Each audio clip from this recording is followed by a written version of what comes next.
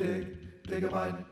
Dig, dig a mine. It's Purdue. Hey everybody, this is Purdue Matt, and welcome to season two of Purdue Matt's Amplified Hardcore Challenge.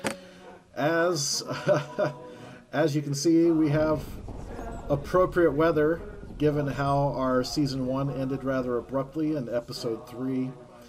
And gosh, it was a little, uh, you know, precognitive uh, to what I said about. Uh, I hope this bad weather it doesn't bode poorly for our episode. It actually sure did bode poorly for our episode.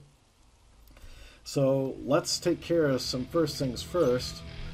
I think I'm going to start off by placing a skull on the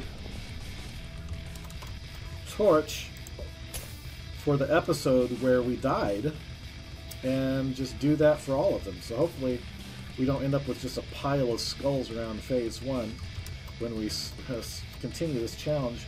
But now we've got to go and take care of business in the graveyard I got some bones here. And we're gonna bury, we're gonna put our head in the head in here. Actually, let's lay ourselves long ways. And we'll, do a little skull and there we go. Alright, there's kind of a skeleton layout for us. Some arms.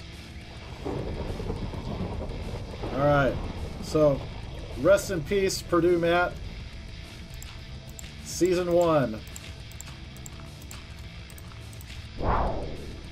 Alright, so here we go. Let's go ahead and restart. We've got our skull to mark one death in phase 1.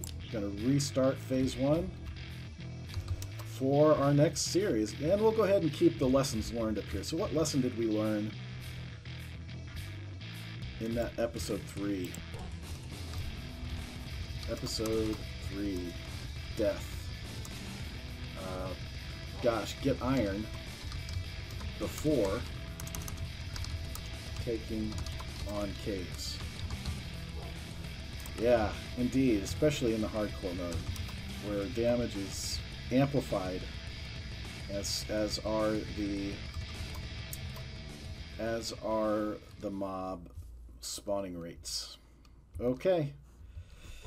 So we will see you in episode 1, season 2 of Purdue Matt's Amplified Hardcore Challenge. New map, new chance to redeem myself. Can I do it, folks? Who knows? Only time will tell. See you there. Bye. But hardcore, the going gets kind of rough. If well, kids, that's it. It's game over. Respawning won't happen. He lost all his stuff, and that'd be pretty lame.